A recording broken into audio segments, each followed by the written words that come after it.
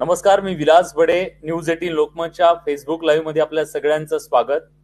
आजच्या या फेसबुक लाईव्हमध्ये आपण चर्चा करणार आहोत अशा विषयाची ज्या विषयानं खऱ्या अर्थातनं जगभरात चिंतेचं वातावरण निर्माण केलेलं आहे आणि ही बाब आहे अफगाणिस्तान मधल्या अंतर्गत सगळ्या परिस्थितीची.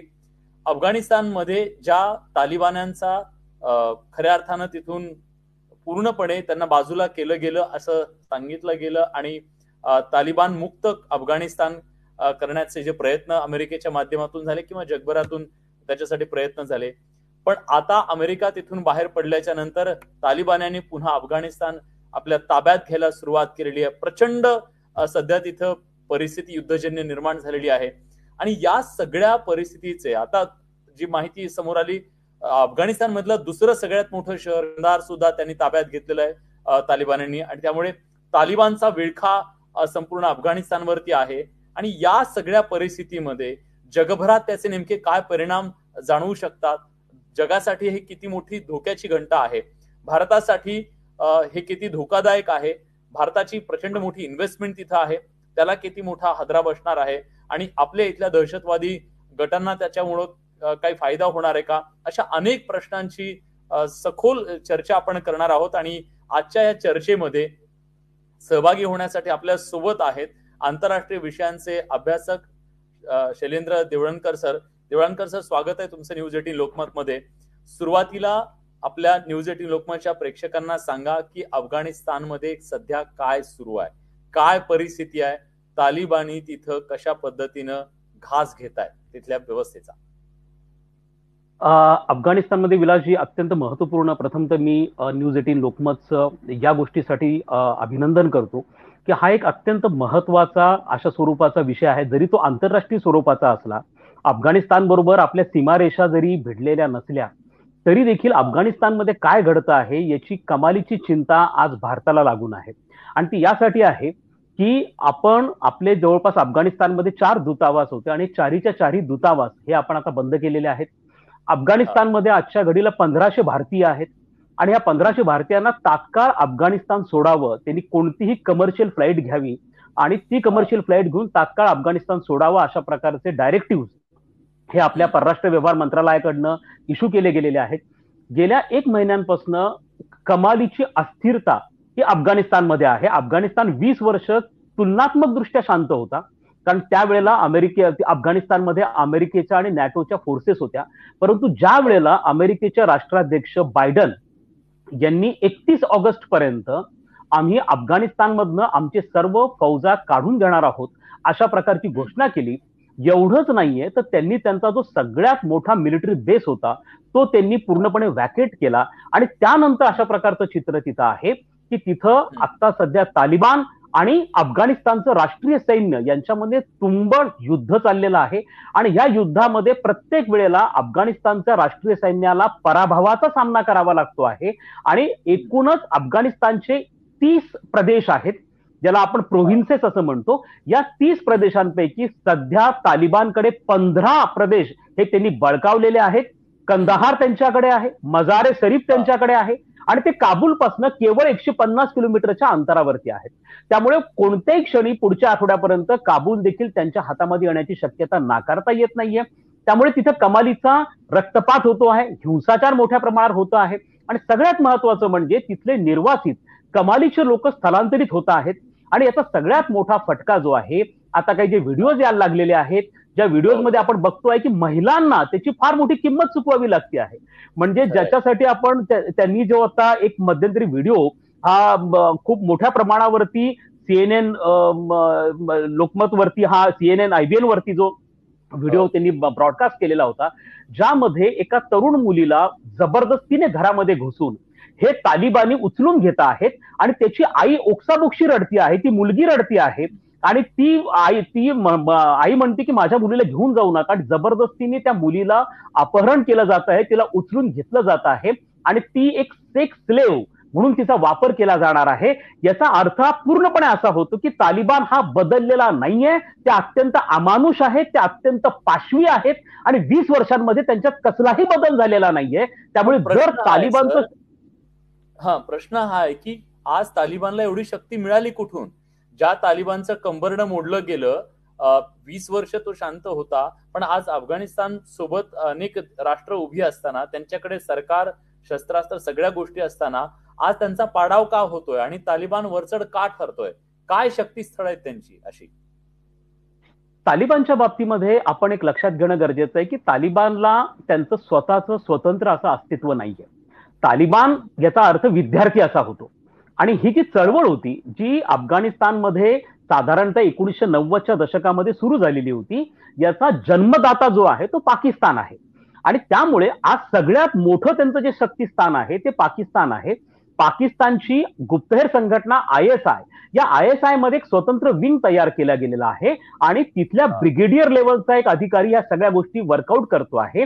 या तालिबान्यांना प्रामुख्याने शस्त्रास्त्रांची मदत असेल यांना आर्थिक मदत असेल यांना नैतिक राजनैतिक सगळ्या प्रकारचं पाठबळ असेल हे यांना प्रामुख्याने पाकिस्तानच्या माध्यमातून चॅनलाइज होत आहे. अर्थात एवढे मोठे रणगाडे एवढे शस्त्रास्त्रासाठी प्रचंड पैसा लागतो. हा पैसा येतोय कुठनं? हा सगळ्यात महत्त्वाचा भाग आहे. कारण यांच्या नॅशनल आर्मीकडे अमेरिकेच्या आणि नॅटोचं शस्त्रास्त्र आहेत. पण या तालिबानांकडे येत आहेत कुठे एवढे पैसे? ते आपण लक्षात ठेवणं गरजेचं आहे. की आज फार मोठ्या प्रमाणावरती ड्रग ट्राफिकिंगमध्ये तालिबानी पुढे आहेत आर्म स्मगलिंगमध्ये हे पुढे आहेत आणि विशेष करून पाकिस्तान मधल्या ज्या दहशतवादी संघटना आहेत तिथं दाऊद इब्राहिम सारखे जे अंडरवर्ल्ड डॉन बसलेले आहेत ज्यांनी रिअल इस्टेटच्या माध्यमातून करोडोंनी पैसा उभा केलेला आहे हा सगळाच्या सगळा पैसा हा तालिबान्यांसाठी वापरला जातो आहे. आणि दुसरं महत्वाची एक गोष्ट आहे की यामध्ये आपण लक्षात तालिबान ही सुन्नी फोर्स आहे. त्यामुळे सगळ्यात महत्त्वाचा भाग असा आहे की जे सौदी श्रीमंत देश आहेत आणि हे इस्लाम धर्माच्या प्रसारासाठी जो पैसा दिला जातो ज्याला इस्लाम ब्रदरहूडसाठी हा पैसा सौदी अरेबियाकडनं दिला जातो तर याच्यामध्ये पाकिस्तान सारखे काही असे देश आहेत की ते ह्या धार्मिक कारणासाठी दिलेला पैसा या चळवळींकडे वळवण्याचा प्रयत्न करत आहेत. आणि त्यामुळे यांच्याकडे प्रचंड पैसा आहे आणि म्हणून ते सातत्याने पुढे जाताना आपल्याला दिसून येत आहे. पण जर हे असेच पुढे जात राहिले आणि जी तालिबान्यांची सत्ता उलथवून टाकलेली होती अमेरिकेनी आणि आता अमेरिका तिथून बाहेर गेल्यानंतर पुन्हा यांना शक्ती मिळाली. अमेरिकेला तसे संकेत मिळत आहेत पण अमेरिकेला पुन्हा यावं लागेल नाटोना पुन्हा यावं लागेल तरच यांचा पाडा होऊ शकतो नाहीतर मग अफगाणिस्तान हे पूर्णपणे तालिबान्यांच्या ताब्यात जाईल. विलासजी प्रथमतः आपण लक्षात घेतलं पाहिजे होतं की हा जो सगळा जो मेस ज्याला म्हणतो की जी सगळी अस्थिरता हा सगळा जो हिंसाचार आज सध्या अफगाणिस्तानमध्ये चाललेला याला प्रामुख्याने अमेरिकेचे विशेष करून बायडन प्रशासनाने जो तडकाफडकी तिथनं सैन्य काढून घेण्याचा जो निर्णय घेतलेला आहे तो प्रामुख्याने जबाबदार आहे. बहुसंख्य देशांना म्हणजे अमेरिकेचे जे मित्र देश भारतासारखा देश आहे त्यांना देखील असं वाटलं होतं की अमेरिका निदान काही काळ तरी तिथं आपले सैन्य ठेवेल. आता या बाबतीमध्ये बायडन यांनी ज्या दोन तीन कारणं सांगितले एक तर त्यांनी सांगितलं की आम्ही काय अफगाणिस्तानमध्ये लिमिटेड कारणासाठी आलेलो होतो. आम्हाला काय अफगाणिस्तानमध्ये राष्ट्र निर्मिती करायची नव्हती. आणि विशेष म्हणजे आमचे सैन्य हे तिथं मरत आहे. पण जर आपण तुलना केली तर व्हिएतनाममध्ये ज्या वेळेला अमेरिकेने व्हिएतनाममध्ये अशाच प्रकारचा लष्करी हस्तक्षेप केला होता अशा वेळेला व्हिएतनाम युद्धामध्ये अमेरिकेचे अठ्ठावन्न हजार सैनिक मेले होते. त्याच्या तुलनेमध्ये वीस वर्षांमध्ये अफगाणिस्तानमध्ये केवळ अडीच हजार अमेरिकन सैनिक हे ते मृत्युमुखी पडलेत. अर्थात त्याला आपण अंडरएस्टिमेट करत नाही आहोत. पण त्यांनी जे कारण सांगितलेलं आहे आणि खरं तर डोनाल्ड ट्रम्प यांनी जो दोहा अग्रीमेंट केला होता त्यानुसार सप्टेंबर एंड पर्यंत हे अमेरिका तिथनं फोर्सेस काढून घेणार होता. परंतु बायडन प्रशासनाने अमेरिकेच्या इंटेलिजन्स एजन्सीने त्यांना सांगितलं होतं की सैन्य इतक्या लवकर काढून घेऊ नका. डिफेन्स डिपार्टमेंटने त्यांना सांगितलं होतं. आणि जरी असलं तरी निदान पाच एक हजारांची फौज तिथं ठेवा. ती ठेवणं गरजेचं आहे. परंतु बायडन यांनी हा पूर्णपणे विड्रॉ करण्याचा निर्णय घेतला. परंतु त्यांनी केवळ त्यांचा स्वार्थ पाहिला पण त्यांनी त्यांचे जे मित्र देश आहेत विशेष करून भारतासारखा देश आहे त्याच्या मात्र हितसंबंधांचा विचार केलेला नाहीये. त्यामुळे आपण लक्षात घेणं गरजेचं आहे की आणि त्यामुळे अमेरिकेचा हा जो विड्रॉ करण्याचा निर्णय आहे त्यामुळे निश्चितपणे तालिबान्यांना बळकटी मिळाली. आणि आपला जो उप प्रश्न होता की आता अमेरिका तिथं परत येऊ शकतो का? तर आपण हे लक्षात घेणं गरजेचं आहे की एक दोहा अग्रीमेंट मागच्या वर्षी झाला होता. दोहा ही कतारची राजधानी आहे. आणि यामध्ये डोनाल्ड ट्रम्प ज्यावेळेला राष्ट्राध्यक्ष होते त्यावेळेला अमेरिकेचे प्रतिनिधी आणि तालिबानचे प्रतिनिधी यांच्यामध्ये दोहा अग्रीमेंट झाला. आणि या अग्रीमेंटच्या अंतर्गतच आज आपण अमेरिकेने तिथलं सैन्य काढून घेतलंय. या नेमक्या अग्रीमेंटमध्ये काय ठरलं होतं? तर या अग्रीमेंटमध्ये असं ठरलं होतं की अमेरिका सप्टेंबर एंड पर्यंत अफगाणिस्तानमधलं सैन्य काढून घेईल. त्याच्या मोबदल्यामध्ये तालिबान आयसिस आणि अल कायदा ह्या आंतरराष्ट्रीय संघटनांना अफगाणिस्तानच्या भूमीवरती स्थान देणार नाही. एक. दुसरं तालिबान कोणत्या प्रकारच्या हिंसाचारामध्ये पडणार नाही? तिसरं तालिबान हे तिथल्या अंतरिम सरकारमध्ये सहभागी होईल. पण या तिन्ही अटी या तालिबानकडनं भंग झालेल्या आहेत. तालिबान मोठ्या प्रमाणात हिंसाचार करत आहे. आणि तालिबान कोणत्याही परिस्थितीमध्ये अंतरिम सरकारमध्ये सामील व्हायला तयार नाहीये. त्यांना अख्खा अफगाणिस्तान आपल्या कब्जामध्ये पाहिजे म्हणजे खरं तर दोहा अग्रीमेंटचा भंग झालाय. म्हणून अमेरिकेने पुन्हा एकदा एअर स्ट्राईक करणं गरजेचं आहे. आणि अमेरिकेने ते एअर स्ट्राईक सुरू केलेले आहेत पण त्यांनी कुठपर्यंत जाणार? कारण हे एअर स्ट्राईक करूनही ज्या पद्धतीने तालिबानचे ऍडव्हान्सेस चाललेले आहेत ज्या पद्धतीने तालिबान पुढे जात आहे तालिबानचं राज्य अफगाणिस्तानवरती यायला आता कोणीही टाळू शकत नाही किंवा रोखू शकत नाही अशा प्रकारची परिस्थिती निर्माण झाली प्रश्न हा आहे सर की जर तिथं तालिबान्यांचं राज्य आलं तर भारतासाठी ते किती धोकादायक असेल? त्याचं कारण म्हणजे आपल्या देशातला एक पत्रकार तिथं तालिबान्यांच्या हल्ल्यामध्ये खऱ्या अर्थाने शहीद झाला असं म्हणूया आपण. दुसऱ्या बाजूला आपले तिथले डॉक्टर जे हॉस्पिटलमध्ये काम करत होते त्यांना सुद्धा लक्ष करण्यात आलं त्यांची हत्या घडून आणण्यात आली. आजच एअरलिफ्ट करून काही अभियंत्यांना तिथून वाचवण्यात आलेलं आहे. आणि तुम्ही सांगितलं त्याप्रमाणे सगळ्यांना आता सांगितलं परत या. भारताला इतका मोठा धोका का आहे तालिबान्यांचा? ते कट्टर आहेत म्हणून की काय? कारण केवळ मित्र अगदी खरंय मला असं वाटतं की विलासजी केवळ भारताला नाहीये.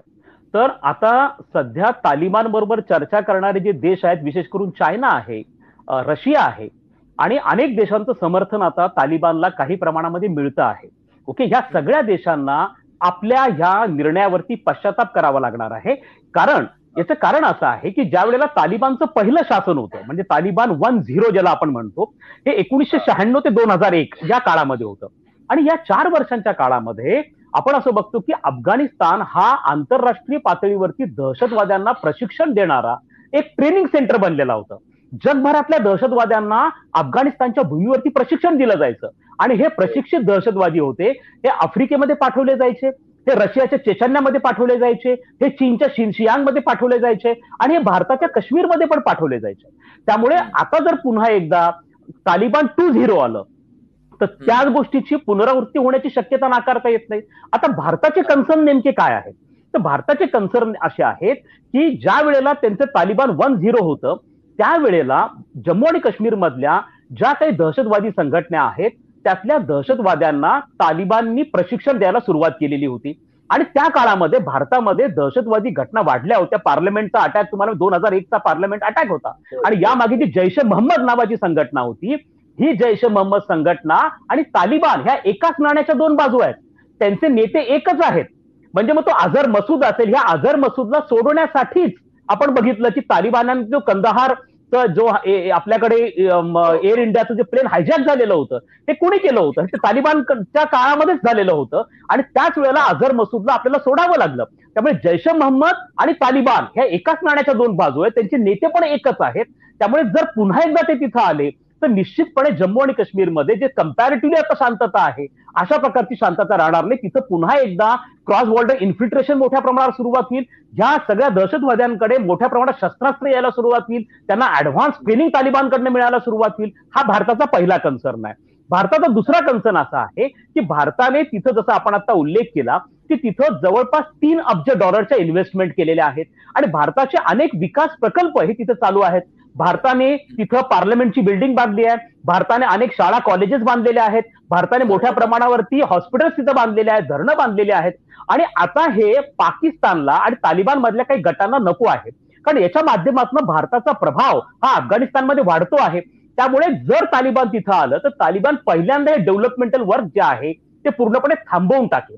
आणि आज तिथं जे भारतीय कामगार काम करत आहेत भारतीय इंजिनियर्स काम करत आहेत त्यांना परत यावं लागेल.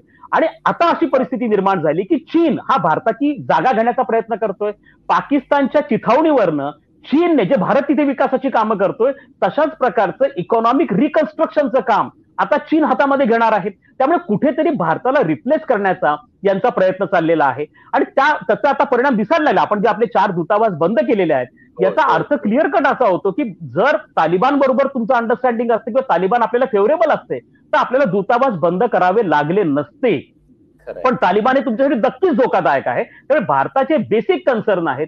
आणि अफगाणिस्तान मी एकच दोन मिनिटं आणखीन घेतो की अफगाणिस्तान हा स्ट्रॅटेजिकली भारतासाठी फार मोठा महत्त्वाचा आहे. काय की सेंट्रल एशिया जो आहे जिथं कझागिस्तान तुर्कमेनिस्तान उझबेकिस्तान सारखे देश आहेत हे पाच एकूण देश आहेत. ज्यांच्याकडे नॅचरल गॅस खनिज तेलाचे साठे मोठे आहेत. आणि भारताला ते पाहिजे पण भारताला सेंट्रल एशियाचा ऍक्सेस जो आहे तो बिलकुल नाहीये. तो आपल्याला अफगाणिस्तानच्या माध्यमातून आहे. त्यामुळे आपण काय करतोय की सध्या इराणचं जे चबहार बंदर आहे हे भारत डेव्हलप करतो आहे. आणि त्याच्या माध्यमातून इराण आणि अफगाणिस्तान असा रेल रूट ट्रान्सपोर्टेशनच्या लिंक आपण डेव्हलप करतो जेणेकरून इराणच्या माध्यमातून आपल्याला अफगाणिस्तानमध्ये येता येईल. आणि अफगाणिस्तानच्या माध्यमातून आपल्याला सेंट्रल एशियामध्ये जाता येईल. परंतु हे जे सगळे विकास कामं चाललेले आहेत हे जे रेल्वेचं कन्स्ट्रक्शन चाललेलं आहे हे तालिबान आल्यानंतर संपूर्णपणे स्टॉप होईल. त्यामुळे आपला सेंट्रल एशिया बरोबरचा ऍक्सेस अफेक्ट होईल आपला वेस्ट एशिया बरोबरचा ऍक्सेस अफेक्ट होईल. त्यामुळे भारताची चिंता आहे की तालिबान तिथं सत्तेवर येऊ नये. जे सध्या डेमोक्रेटिक गव्हर्नमेंट आहे ते तिथे कंटिन्यू राहावं. तालिबान सत्तेमधला एक भाग बनू शकतं. परंतु जे सध्याचं गव्हर्नमेंट आहे त्याचा एक भाग बनावा संपूर्ण तालिबानची सत्ता येणं हे भारतासाठी नक्कीच येत्या काळामध्ये धोकादायक आहे.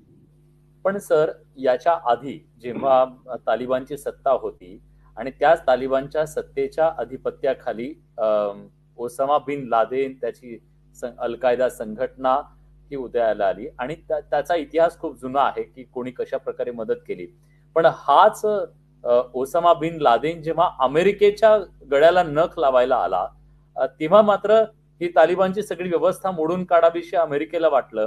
पण आज तिथून जात असताना ती व्यवस्था पुन्हा येणार नाही याची काळजी अमेरिकेने घेतलेली नाहीये. आणि जर ती भविष्यात त्यांनी आता जर थोपवली नाही पुन्हा तालिबानची सत्ता आली तर कदाचित उद्या पुन्हा तिथं दुसरी अलकायदा निर्माण होऊ शकते. जगासाठीचा दहशतवादाचा नवा अड्डा निर्माण होऊ शकतो अफगाणिस्तान. अगदी अगदी योग्य कन्सर्न तुम्ही रेस केलेला आहे. आणि मी एक महत्वाचं स्टेटमेंट या सांगतो की रॉबर्ट गेट्स हे अमेरिकेचे माजी संरक्षण सचिव होते संरक्षण मंत्री होते. आणि रॉबर्ट गेट्स बायडनच्या संदर्भामध्ये एक स्टेटमेंट केलेलं आहे. की त्यांनी असं सांगितलं की बायडन हे अमेरिकेचे उपाध्यक्ष असल्यापासून त्यांनी फॉरेन पॉलिसीच्या संदर्भामध्ये जे जे निर्णय घेतलेले आहेत ते अमेरिकेच्या अंगलट आलेले आहेत. त्यामुळे हे अमेरिकेचा हा जो निर्णय आहे की इथं ऍटलिस्ट ऍटलिस्ट एक दोन हजारांची फोर्स तरी त्यांनी ठेवणं फार गरजेचं होतं जे त्यांनी ठेवलेलं नाहीये. आणि आपण हा इतिहास नाकारू शकत नाहीये की तालिबानांवरती विश्वास ठेवणं अतिशय अवघड आहे. तालिबान हे बदललेलं नाहीये. इनफॅक्ट पहिल्या तालिबानपेक्षा हे तालिबान अत्यंत अमानुष झालेले कारण पहिलं तालिबान निदान थोडं धार्मिक प्रभावाखाली होतं. परंतु हे मात्र ड्रग माफिया आहेत. हे मात्र आर्म्स स्मगलर्स आहेत. आणि यांना कसल्याही प्रकारची दयामाया नाहीये. त्यामुळे या ठिकाणी पुन्हा एकदा आयसिस असेल अल कायदा असेल यांची सेंटर्स बनण्याची शक्यता नाकारता येत नाही. आणि जशा पद्धतीची प्लॅनिंग ओसामा बिन लादननी तालिबान गव्हर्नमेंट तिथं असताना अमेरिकेवरती अटॅक करण्याचं प्लॅनिंग हे अफगाणिस्तानमध्ये शिजलं होतं. हा कट अफगाणिस्तानमध्ये शिजला होता. आणि हा इतिहास सगळ्या जगाला माहिती आहे. असं असतानाही अमेरिकेने तडकाफडकी सैन्य काढलं. त्यामुळे कदाचित ही शक्यता नाकारता येत नाहीये की अमेरिकेला पुन्हा एकदा दुसऱ्या नाईन इलेव्हनला तयार राहावं लागेल. आणि त्यासाठी अमेरिका असं म्हणत की आम्ही हजारो किलोमीटर दूर आहोत. परंतु असं होणार नाहीये. अमेरिकेला कदाचित सेकंड नाईन इलेव्हनसाठी तयार राहावं लागेल.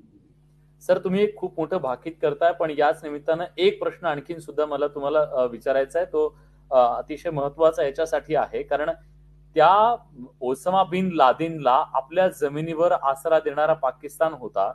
पण जगभरातून त्यांच्यावरती त्यानंतर नामुष्की उडवली त्यांचा बुरखा फाटला.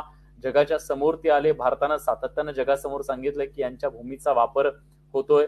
पाकिस्तानला बॅकफुटला जावं लागलं सांगावं लागलं जगात. आता पाकिस्तानची ही रणनीती सुद्धा असू शकते का?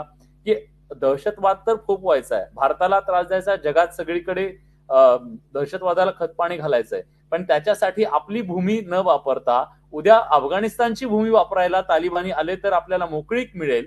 ही रणनीती असू शकते का पाकिस्तानची याच्या मागच्या आणखीन नाही नक्कीच आहे. हा अँगल देखील तेवढाच महत्त्वाचा आहे. आणि त्यासाठीच अफगा पाकिस्तानला अफगाणिस्तानवरती आपला जो कंट्रोल आहे नियंत्रण आहे हे. त्यांना पाहिजे आहे. आणि एक पद्धतीने आपण नाकारू शकत नाही की आज पाकिस्तानमध्ये जरी तिचं सिव्हिलियन गव्हर्नमेंट असलं तरी ते किती तकलादू आहे याची आपल्याला कल्पना आहे.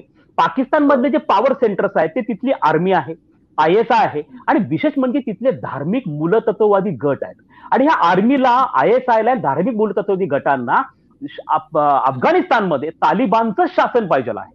कारण त्यांच्या माध्यमातून त्यांना जगभरातला त्यांचा जो अजेंडा आहे जगभरात ज्या पद्धतीने टेरर एक्सपोर्ट करतायत निर्यात करतायत टेररिझमची ते सहज त्यांना साध्य होणार आहे. आणि दुसरं म्हणजे पाकिस्तानचं महत्त्व वाढणार आहे. पाकिस्तानची बार्गेनिंग पॉवर याच्यामधनं वाढणार आहे. अमेरिकेला आता अफगाणिस्तानमध्ये शांतता ठेवायची असेल तर पाकिस्तानला हाताशी धरणं गरजेचं आहे. त्यामुळे पाकिस्तानच्या दृष्टीने अफगाणिस्तान एक बार्गेनिंग कार्ड आहे. जो सातत्याने या बाबतीमध्ये अफगाणिस्तान पाकिस्तान खेळण्याचा प्रयत्न करत असतो परंतु पाकिस्तानला हे देखील लक्षात घेणं गरजेचं आहे की जर तुम्ही तुमच्याच बॅकयार्डमध्ये साप पाळून ठेवणार असाल आणि त्या सापांना दूध पाजत असाल आणि ते साप तुम्ही तुमच्या शेजाऱ्यांसाठी पाळून ठेवलेले असतील तरी ते साप एक दिवशी तुम्हाला चावल्या वाचून देखील राहणार नाहीये याची पाकिस्तानला हे हिलरी क्लिंटनचं स्टेटमेंट होतं.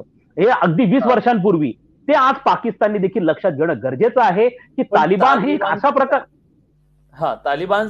नावाच्या सापाला केवळ पाकिस्तान दूध पाजतंय की तिकडे चीन सुद्धा दूध पाजायला आतुर आहे? हे बघा या बाबतीत असं आहे की चीनच्या दृष्टिकोनातनं एक फार मोठा कन्सर्न आहे. तो कन्सर्न काय आहे की चीनचा जो शिन शियांग प्रांत आहे त्याच्यामध्ये जे उघूर अल्पसंख्याक मुस्लिम आहेत त्यांचा सध्या स्वायत्ततेसाठी संघर्ष चाललाय. आणि चीनला ती सगळ्यात मोठी चिंता आहे. त्यासाठी चीनने कॉन्सन्ट्रेशन कॅम्प करून जवळपास दहा लाख मुस्लिमांना त्या कॉन्सन्ट्रेशन कॅम्पमध्ये डांबून ठेवलेलं आहे. आता चीनची मुख्य चिंता काय आहे? की जर तालिबान तिथं आलं आणि त्यांनी जर ह्या उघूर मुस्लिमांना सपोर्ट केला तर ते चीनसाठी डोकेदुखी बनू शकतं. परंतु अशा स्वरूपाचं एक अग्रीमेंट तालिबानमध्ये आणि चीनमध्ये झालेलं आहे. आणि त्यासाठी तालिबानने ऍक्सेप्ट केलेलं आहे की आम्ही तुमच्या अंतर्गत प्रश्नामध्ये हस्तक्षेप करणार नाहीये. आणि आता कारण अफगाणिस्तान कोणाला नको आहे? कारण अफगाणिस्तान हा स्ट्रॅटेजिकली इम्पॉर्टंट आहे. अफगाणिस्तान हा सेंट्रल एशियाची लिंक आहे तो वेस्ट एशियाची लिंक आहे आणि चायनाचा जो बीआरआय प्रोजेक्ट आहे बॉर्डर अँड रोड इनिशिएटिव्ह त्यासाठी अफगाणिस्तान फार महत्त्वाचा आहे. त्यामुळे अफगाणिस्तानवरती प्रभाव निर्माण करण्याची संधी ही चीनला मिळत असल्यामुळे ते तालिबानला सपोर्ट करताना दिसून येत आहेत. पण हे तालिबानी भारताबद्दल घेऊन आहेत. अधिकृतरित्या भारतानं त्यांच्याशी संपर्क करण्याचा त्यांच्याशी निगोशिएट करण्याचा किंवा जुळवून घेण्याचा असा काही प्रयत्न जसा चीननं त्यांच्यासोबत केलेला आहे तसे काही प्रयत्न केलेले आहेत का?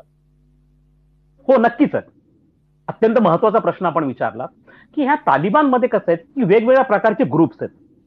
त्यांच्यामध्ये हक्कानी सारखा ग्रुप आहे जो अत्यंत अत्यंत एक्स्ट्रीमिस्ट आणि कन्झर्वेटिव्ह जो पाकिस्तानच्या नियंत्रणामध्ये आहे. पण त्याच्यामध्ये काही मॉडरेट पण आहेत. आता हे जे मवाळ तालिबानी आहेत तर त्यांच्याबरोबर भारत हा बोलण्याचा प्रयत्न करतोय. ज्याला आपण इन्फॉर्मल लाईन ऑफ कम्युनिकेशन हा शब्द भारताच्या परराष्ट्र व्यवहार मंत्रालयाने वापरलेला आहे. म्हणजे आपण अनौपचारिक चर्चेचा एक लिंक त्यांच्याबरोबर ओपन केली आहे. आणि जो दोहा अग्रीमेंट झालेला होता त्या अग्रीमेंटला आपले कतारमधले अँबॅसिडर जे होते ते त्या मिटिंगसाठी उपस्थित होते. त्यामुळे भारताने आपली भूमिका ही थोडी बदलण्याला सुरुवात केलेली आहे. परंतु या हा, बाबतीमध्ये म्हणजे एक गोष्ट नक्कीच करतोय. करतोय याचं कारण असं आहे की अमेरिका त्यांच्याबरोबर बोलतोय रशिया त्यांच्याबरोबर बोलतोय चीन त्यांच्याबरोबर. बोलतोय आणि विशेष करून इराण जे शिया पंथीयांचं प्राबल्य असणारा देश आहे तो पण आता तालिबानांबरोबर चर्चा करायला लागलाय तर ह्या ग्रेट. गेममध्ये भारत कुठे मागे राहायला नको त्यामुळे आपण. आपल्या इंटरेस्टच्या प्रोटेक्शनसाठी त्यांच्यावर चर्चा सुरू केलेली आहे परंतु आता त्या चर्चेला कुठपर्यंत यश येतं त्याला तालिबानांकडनं कसा रिस्पॉन्स मिळतो याच्यावरची. पुढची लाईन ऑफ ऍक्शन जी आहे ही महत्वाची टिकून आहे पण तुम्हाला असं वाटतं सर की आता पुन्हा एकदा तालिबान्यांना रोखायचं असेल अं, तर नाटो सारखे सगळ्या देश असतील किंवा मग अमेरिका असेल यांनाच पुढाकार घेऊन पुन्हा त्यांना थोपवायला हवं? आपला जो निर्णय त्यांचा आहे त्या निर्णयात बदल करून त्यांना अं, पुढाकार घ्यावा लागेल पुन्हा एकदा? मला असं वाटतं की अमेरिकेला युरोपियन देशांना या बाबतीमध्ये पुनर्विचार करावा लागेल. यांना ऍक्च्युली असं वाटत होतं की दोहा नुसार तालिबान हा सत्तेमधला एक घटक असेल. आणि त्यांना जरी तालिबान तिथं म्हणजे त्याच्याविषयी ते कम्फर्टेबल असल्या आता कारण बरी इंग्लंडने पण आपली भूमिका बदललेली आहे. अनेक युरोपियन हो. देशांनी आपली भूमिका बदलली तालिबान विषयी आता त्यांचं असं म्हणणं पडलंय की जर तालिबान सत्तेत आलं तर आम्हाला प्रॉब्लेम नाहीये. परंतु त्यांना याची अपेक्षा नाहीये की जर तालिबाननी जो तिथला एक सुन्नी एक्स्ट्रीमिझम आहे किंवा त्यांना ज्या पद्धतीची धार्मिक राजवट तिथे इस्टॅब्लिश करायची आहे ती धार्मिक राजवट मात्र कोणालाच नको आहे. आणि जर त्यांनी तसा प्रयत्न केला तर अशा वेळेला मात्र या सगळ्या युरोपियन देशांना अमेरिकेला पुन्हा एकदा इंटरव्ह्यून करावं लागेल. आणि या दृष्टिकोनातून विलाजी एक अत्यंत महत्वाची मी बाब आपल्या सर्वांच्या निदर्शनाला आपल्या प्लॅटफॉर्मवर आणून देऊ इच्छितो. की अफगाणिस्तान मधल्या गनी सरकारने भारताला विनंती केलेली आहे की आपण कृपया एअर स्ट्राईकसाठी तयार राहा आपण कृपया एअर स्ट्राईक करा ही त्यांनी भारताला विनंती केलेली आहे. आता एक बाब लक्षात घ्या की अनेकदा असा प्रश्न विचारला जातो की भारताला अशा पद्धतीचे एअर स्ट्राईक करण्याचा अधिकार अफगाणिस्तानवरती आहे का? आणि या बाबतीमध्ये एक महत्वाची बाब मी आपल्या सगळ्या श्रोत्यांसाठी सगळ्या प्रेक्षकांसाठी जाणीवपूर्वक सांगतो की भारताला तो कायदेशीर अधिकार आहे. आणि हा कायदेशीर अधिकार भारताला दोन हजार अकराच्या अफगाणिस्तान आणि भारत यांच्यामध्ये जो करार झाला होता ज्या कराराला कलेक्टिव्ह सिक्युरिटी अग्रीमेंट म्हणतात त्या करारामध्ये एक तरतूद अशी आहे की अफगाणिस्तान जर अडचणीमध्ये आला तर भारत अफगाणिस्तानच्या मदतीला धावून जाईल. आणि अशा प्रकारची जबाबदारी भारताने घेतलेली असल्यामुळे भारताला लिगल राईट आहे अफगाणिस्तानवरती किंवा तालिबानवरती एअर स्ट्राईक करण्याचा. आणि दुसरी महत्वाची गोष्ट म्हणजे गुजरातवरनं म्हणजे गुजरातचा जो वेस्ट कोस्ट आहे त्याच्यावरनं अफगाणिस्तानचं अंतर हे फक्त सव्वीस सव्वीस मिनिटाचं अंतर आहे. जर तुम्ही एअर स्ट्राईक करण्याचा विचार केला तर भारतामधनं अफगाणिस्तानवरती एअर स्ट्राईक करणं हे अत्यंत सोपं आहे. जर अमेरिकेला एअर स्ट्राईक करायचे असतील तर त्यांना सेंट्रल एशियावरनं किंवा पश्चिम आशियामधनं एअर स्ट्राईक करण्यापेक्षा भारतामधनं एअर स्ट्राईक करणं हे कम्पॅरेटिव्हली सोपं जाणार आहे. त्यामुळे जरी भारताने प्रत्यक्ष इन्व्हॉल्वमेंट नाही घेतली पण अमेरिका जर एअर स्ट्राईक करायला तयार असेल तर भारत आपले एअर बेसेस अमेरिकेला देणार का? हा एक महत्त्वाचा पार्ट आहे. जर तुम्ही क्वाडमध्ये सदस्य बनलेला आहात आणि क्वाडमध्ये जर तुम्ही जॉईंट नॅव्हल एक्सरसाइज अमेरिकेबरोबर करता आहात तर तुम्ही जॉईंट एअर एक्सरसाइज करायला काय हरकत आहे?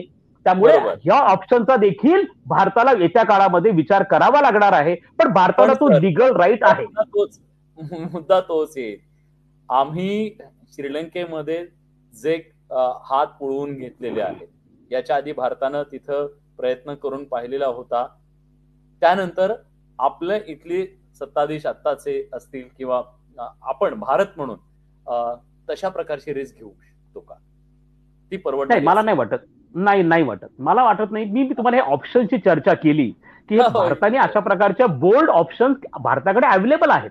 आणि आपल्याला याची कल्पना आहे की भारतीय लष्कराची क्षमता जी आहे लक्षात घ्या गुरिला वॉरफेअर जे आहे कारण अफगाणिस्तानचं जे टेरेन आहे जी भूमी आहे ती पर्वतीय भूमी आहे. आणि या भूमीवरती केवळ आणि केवळ भारतीय सैनिकच लढू शकतात.